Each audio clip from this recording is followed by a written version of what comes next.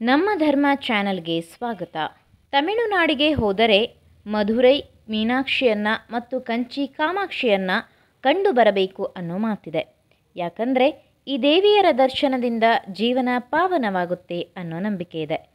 ಹಲವು ಪುಣ್ಯ ಪ್ರಾಪ್ತಿಯಾಗುತ್ತೆ ಮತ್ತು ನಮ್ಮ ಪೂರ್ವಜರು ದೇವಸ್ಥಾನವನ್ನು ನಿರ್ಮಿಸುವಲ್ಲಿ ಎಷ್ಟು ಜಾಣತನ ತೋರಿಸಿದ್ದಾರೆಂದು ಕೂಡ ನಮಗೆ ಹೆಮ್ಮೆ ಆಗುತ್ತೆ.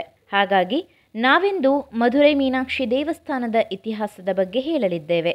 ಆದರೆ ಅದಕ್ಕೂ ಮುನ್ನ ನೀವಿನ್ನು ನಮ್ಮ ಚಾನಲ್ನ ಸಬ್ಸ್ಕ್ರೈಬ್ ಮಾಡದಿದ್ದಲ್ಲಿ ಬೇಗ ಸಬ್ಸ್ಕ್ರೈಬ್ ಆಗಿ ಪಕ್ಕದಲ್ಲಿರುವ ಬೆಲ್ ಐಕಾನ್ ಪ್ರೆಸ್ ಮಾಡಿ. ವೈಗೈ ಎಂಬ ನದಿ ತೀರದಲ್ಲಿರುವ ಮಧುರೈಯನ್ನ ದೇವಸ್ಥಾನಗಳ ಬೀಡೆಂದು ಕರೆಯುತ್ತಾರೆ. ಅಲ್ಲದೆ ಇದು ಅತ್ಯಂತ ಪುರಾತನ ನಗರಗಳಲ್ಲೊಂದು. ಇಲ್ಲಿರುವ ಎಲ್ಲ ದೇವಸ್ಥಾನಗಳಿಗಿಂತ ಮೀನಾಕ್ಷಿ ದೇಗಿರುವೆ ಅತ್ಯಂತ ಪ್ರಸಿದ್ಧ ದೇವಾಲಯವಾಗಿದೆ. ಮೀನಾಕ್ಷಿ ಎಂದರೆ ಸರ್ವಶಕ್ತಿಯಾಗಿರುವ ಪಾರ್ವತಿ ದೇವಿ ಈ ದೇವಸ್ಥಾನದಲ್ಲಿ ಶಿವನನ್ನ ಕೂಡ ಪೂಜಿಸಲಾಗುತ್ತೆ. ಆದರೆ ಇಲ್ಲಿ ಪ್ರಮುಖ ಆದ್ಯತೆ ಕೊಟ್ಟಿರುವುದು ಮಾತ್ರ ಮೀನಾಕ್ಷಿಗೆ. ಮಧುರೆಯನ್ನ ಆಳುತ್ತಿದ್ದ ಪಾಂಡ್ಯರಾಜನಾದ ಮಲಯಧ್ವಜನಿಗೆ ಮಕ್ಕಳಿರುವುದಿಲ್ಲ. ಹಾಗಾಗಿ ರಾಜ ಹಲವು ಯಾಗಗಳನ್ನ ಮಾಡುತ್ತಾನೆ. ಪುತ್ರ ಕಾಮಿಷ್ಟಿ ಯಾಗವನ್ನ ಕೂಡ ಮಾಡುತ್ತಾನೆ. ಆಗ ಪಾರ್ವತಿಯೇ ಮಲಯಧ್ವಜನ ಪುತ್ರಿಯಾಗಿ ಜನಿಸುತ್ತಾಳೆ. ಆದರೆ ಆಕೆಯ ದೇಹ ರಚನೆ ಸರಿಯಾಗಿ ಇರುವುದಿಲ್ಲ. ಈಕೆಗೆ ತಡತ್ತಗೈ ಎಂದು ನಾಮಕರಣ ಮಾಡಲಾಗುತ್ತೆ. ತನ್ನ ಮಗಳು ಬೇರೆ ಹೆಣ್ಣು ಮಕ್ಕಳಂತೆ ಇಲ್ಲವೆಂದು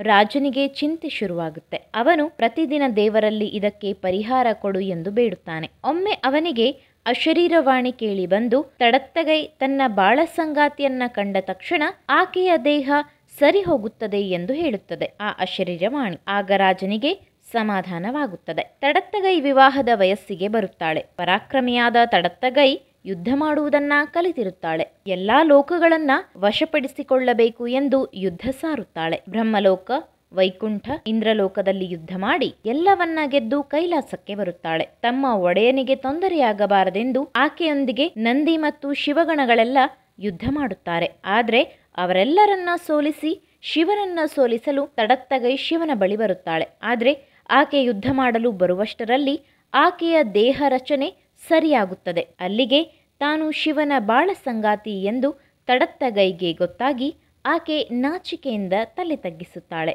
ನಂತರ ಮಧುರೈನಲ್ಲಿ ಇಬ್ಬರ ವಿವಾಹ ನೆರವೇರುತ್ತದೆ. ಶಿವ ಸುಂದರೇಶ್ವರನಾಗಿ ಮತ್ತು ತಡತ್ತಗೈ ಮೀನಾಕ್ಷಿಯಾಗಿ ಮಧುರೈನಲ್ಲಿ ನೆಲೆಸುತ್ತಾರೆ.